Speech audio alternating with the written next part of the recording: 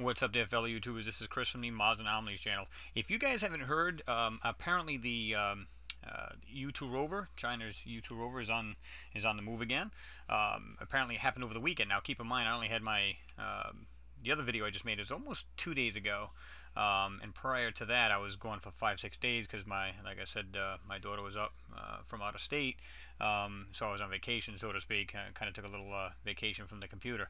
But anyway, apparently over the weekend, uh, it was woken up, and uh, which I think is pretty cool. And Moon Rover, uh, Moon Rover rather, lander wake after lunar night, and you can just click on this right here, and it'll take you to this page. And this is Beijing, January 12th. China's moon rover Yutu Jade Rabbit and the Chang 3 lander have just woke up after a period of dormancy that lasted two weeks or, excuse me, one lunar night, in a move designed to uh, ride out harsh climatic conditions. Uh, Yutu was awakened uh, autonomously, uh, or automatically, depending on which way you like, at 5:09 uh, a.m. Beijing time on Saturday, and has finished necessary setting procedures in uh, and entered a normal working mode following orders from the Beijing Aerospace Control Center, or BACC, according to the statement issued by the BACC on Sat uh, Sunday, rather. Um, so I think that's pretty cool. I mean, you know, that's why we haven't been hearing anything. Um, I think it was on the 26th. Um, uh, it shut down. Um, you know, uh, went into a sleep, so to speak. Uh, uh, Chang 3 has also awakened automatically at uh, 8:21 a.m. on Sunday and is currently in normal condition, the statement said.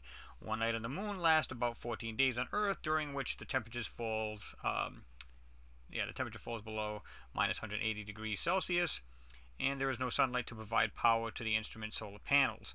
Um, but keep in mind, they do have, I believe they said it's uh, fitted with uh, two radioisotope heaters uh, to keep everything from really getting really super cold on this uh, little rover. So this way, nothing really breaks down, so to speak, and malfunctions.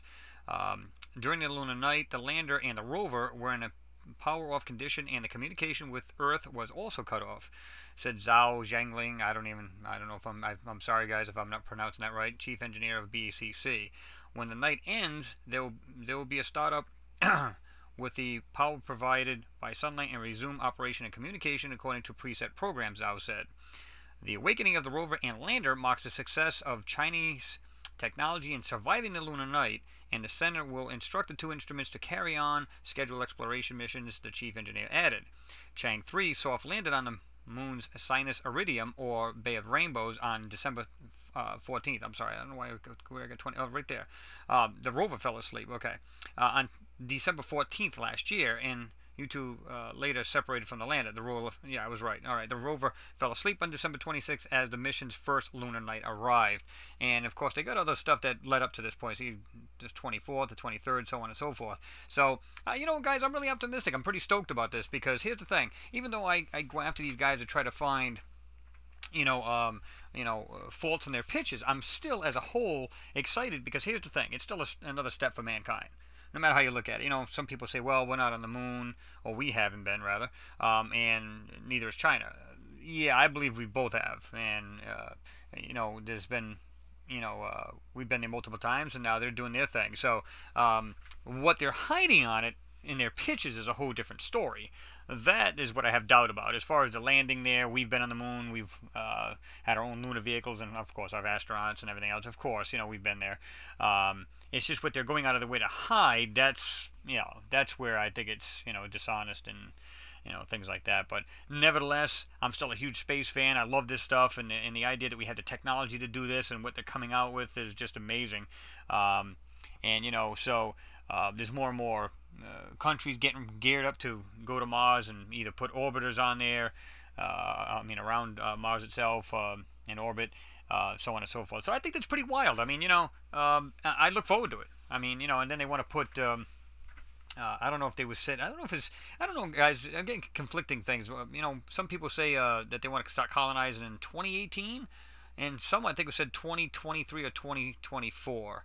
Um, you know, it, I guess it depends on uh, the project or who's building the projects in order to go there. So um, either way, I mean, in the future, it's got some wild stuff. Even if you know uh, there isn't too much happening right now, uh, there will be. Um, you know, and there's still always stuff to find. I've got tons of stuff I've just started to go through on my uh, external hard drive, so I got a, quite a bit of things to cover myself. Some, uh, but just rest assured, I, I, definitely keep an eye on um, the uh, what's going on here at the Chinese. you know, what do you call it? Their aerospace uh, control center. Um, you know, and as far as uh, what's going on in Mars, I try to stay uh, on top of this stuff, so bring it to you guys. So um, just rest assured of that.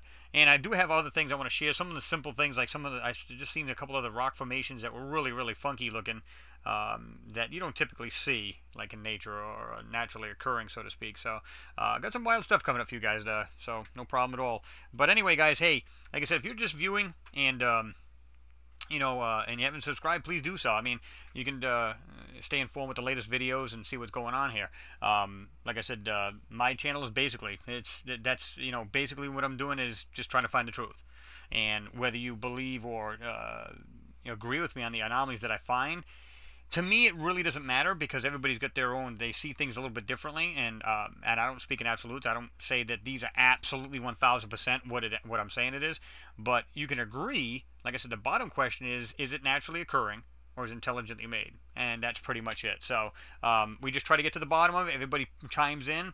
Um, uh, you know, most people are just like you know want to know what it is. Uh, they they say what they think it is, or they're just not seeing it. That's fine.